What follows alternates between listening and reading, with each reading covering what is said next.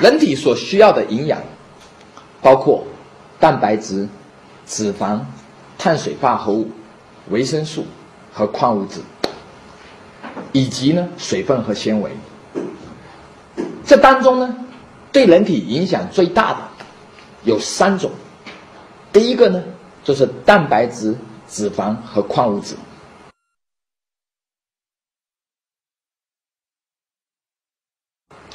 这三种呢，它的特性呢，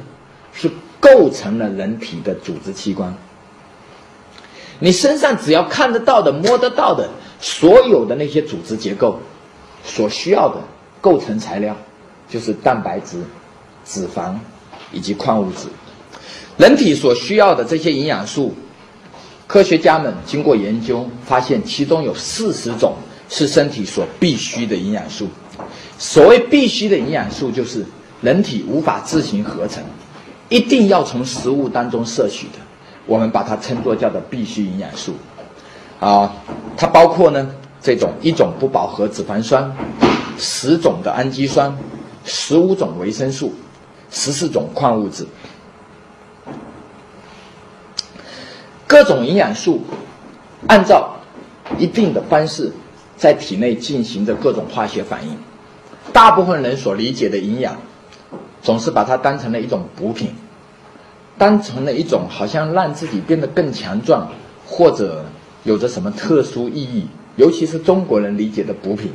好像不是补肾啊，就是补某种功能啊。其实真正的营养素的意义呢，它不是一个补品。它只是人体进行正常的生理反应过程当中所需要的元素，只是身体构造材料里面所需要的原材料罢了。这里呢有一个公式，这个公式呢，呃，简单的做了一个呃人体内化学反应的一个过程，A 加 B 反应生成了 C，C 呢再跟你身体所储存的养分 D。产生反应，生成 E，然后呢，E 再跟你的食物当中的某种营养，比如说 F 反应，然后继续生成 G。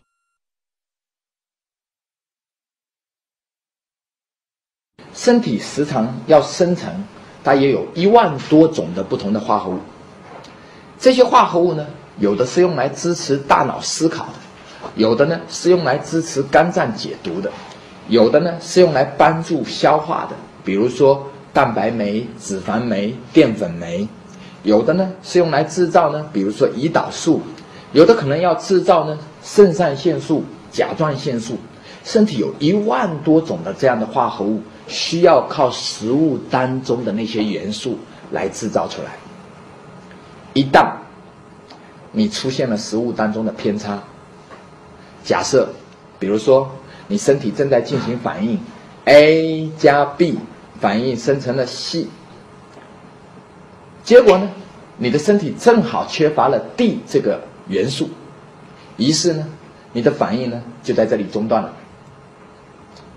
当没有 D 的时候，E 是肯定不能生成的。那么 E 不能生成呢，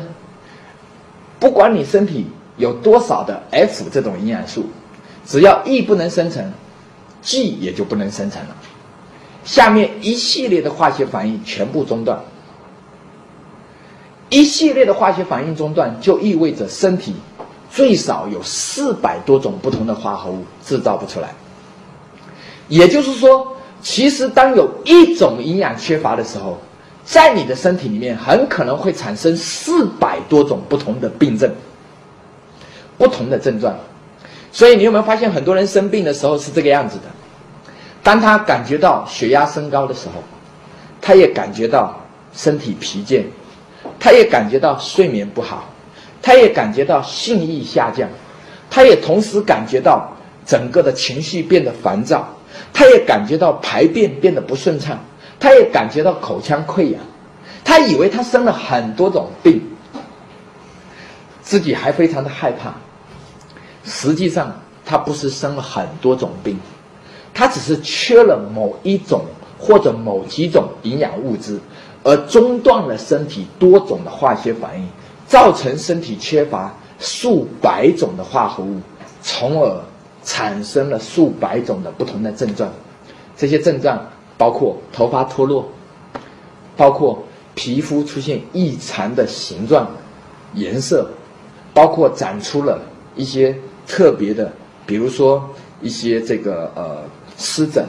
比如说这个一些这个息肉，比如说甚至是肿瘤。这些所有不同的症状，在背后的因素都只有一个，那就是体内的化学反应出现了异常，而这些异常的根本原因就是你食物中的元素不平衡。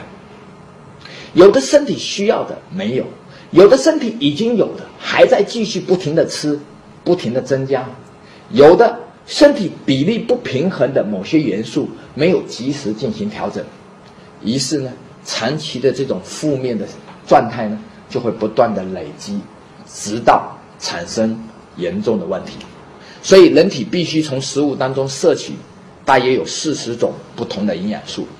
经过人体的消化吸收，然后加以利用，然后呢，应用它来制造身体所需要的各种化合物。只要其中任何一种化合物的缺少，都会使身体机能因为缺少这种化合物而无法正常运作，从而导致疾病的发生。啊，在我看来，大部分的慢性疾病主要的形成原因跟营养的不均衡其实是有着最直接、最密切的关系。因为